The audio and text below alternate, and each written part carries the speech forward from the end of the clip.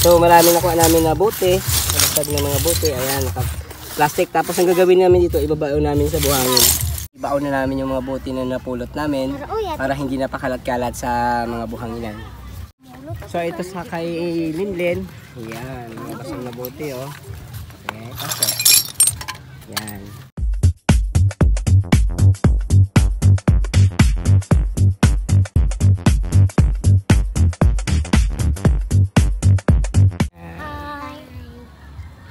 Hello kapwa, magandang hapon sa inyong lahat. At ngayong hapon ay samahan nyo naman kami sa aming panibagong vlog.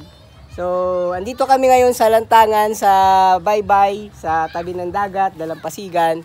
So, ang ating vlog ngayon ay, ano nga ang vlog natin? Mamumulot ng basura. So, mamumulot kami ng basura, basag na bote. Marami ang naglalakad para maiwasan yung masugatan, di ba? So, tara, wag natin patagalin at magsisimula na kami, mamumulot kami ng mga basag na bote. Dito sa Dalampasigan, dito sa may buhanginan, mula dito papunta doon. Lahat ng mga bote na makikita namin na basag ay kukunin namin at may kasama kaming, may dala kaming sako. Yan. So, ang mga kasama ko, mga cute cute. Hi, hi, hi. Yan. Sila ang masisipag na mga cute na kids na tutulong para kumuha ng ano. Ano kaya kukunin nyo? Ng Mga ano? bote. Basag na bote. Yan. Sige, simula na tayo mamulot. Papunta doon. Mamulot kami ng mga bote. Ah, karga. Sunod. Yan. So, mamumulot sila ng basag na bote. Yan. Tandaan lang ang kamot nyo ha, mga ano ha. Masamay. Yan.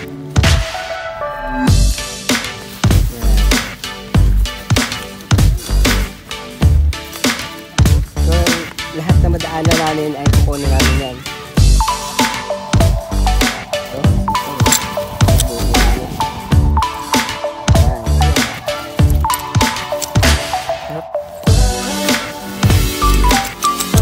Nga makatulong kahit sa simpleng paraan para mga bata siyempre naglalaro.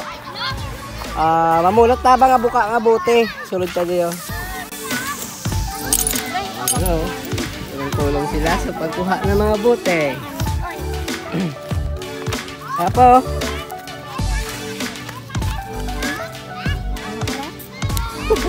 Hindi na kita ba? Wala kita. Kapag mabuti napakalat-kalat dito sa ano, sa ng dagat, kukunin namin. Ayan, oh, ito. Yan. Ganyan. Gandahan ang kamay nyo, ha?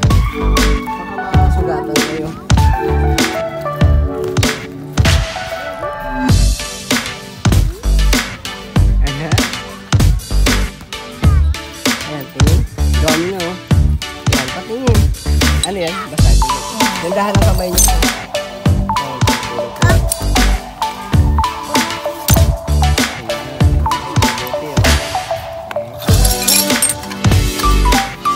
Ayan, pagkuha ng mga basa.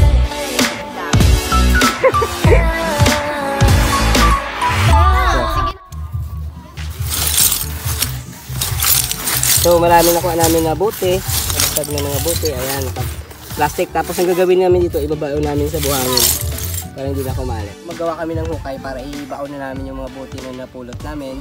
Para hindi na pakalat-kalat sa mga buhangin.